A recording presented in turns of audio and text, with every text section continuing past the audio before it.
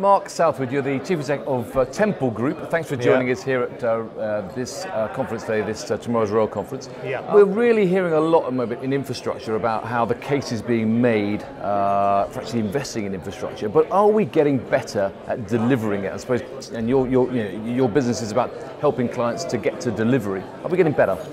I think we are. I think we are learning uh, a lot along the way. I don't think um, the whole question of shared learning is still a key part, I think, that needs to be taken a lot more uh, actively by the industry. Right. I mean, I think one of the things that you've got to appreciate is it's very important to be involved in all parts of the project life cycle Yeah. in order to understand what the issues are in terms of the delivery as well as Yeah. the front end. And uh, one of the things is it's about this continuity through the point of an approval process into delivery. Yeah.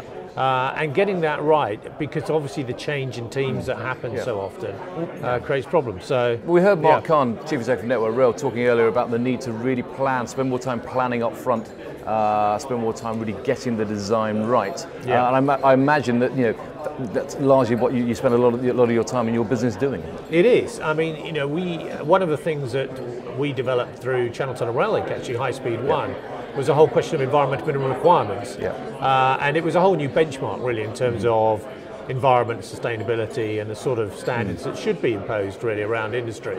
And I remember at that time, a lot of the construction industry, it was a real wake-up call to actually we need to take environment in a much more serious way. Yeah. And I think that's been good for the industry. And I think Crossrail and Thameslink program have driven again another Yeah. stake, another level, if you like, in Yeah. terms of those environmental standards. And I think it's it's very important in terms of the legacy that we leave around these big projects. And you know, what, Yeah. so because one of the things that was mentioned earlier today was the importance of seeing these projects as not just transport projects, but the part they play in the broader community. And, and engaging the consumer, engaging the passenger, engaging uh, the public uh, is key to making these projects a success. Exactly right. Yeah. And I think, you know, one of the things, it's not just the passengers, but it's those communities as well. Yeah. Mm-hmm. And giving them a, a, a real role in terms of Yeah. community engagement. And I think it's got better. Projects have woken up to the fact consultation is a two-way process, Yeah. not just a one-way process. So Uh, yeah, yeah. uh, yeah. So we so we hear we, yeah. we hear railways talking about customer focus. We hear the road Yeah. talking about customer focus. We hear uh, uh, airports talking about customer focus. For Temple, you know, where, where, where do you see the growth in your business? Well, I think infrastructure continues to be a very important part for Britain, uh, UK, and uh, it's clearly the government recognise that. It's a big part of uh, their agenda.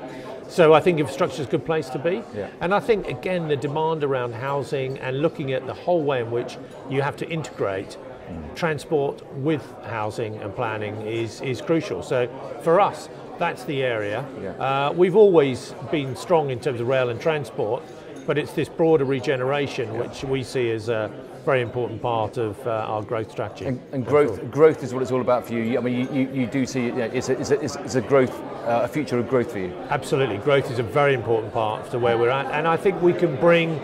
I think as an SME and a successful SME, you know, we, we can bring important uh, understanding and Yeah. knowledge around the project experiences that we've had, and this concept that I said earlier about better shared learning and an academy, which is what we want to develop in the next uh, few years, I think can make a big difference in the industry. What could stop What could stop your ambition?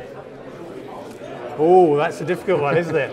Um, I don't know. I, I've always been ambitious. I mean, I was a founder of Temple, setting Yeah. it up, uh, so I've always been very driven.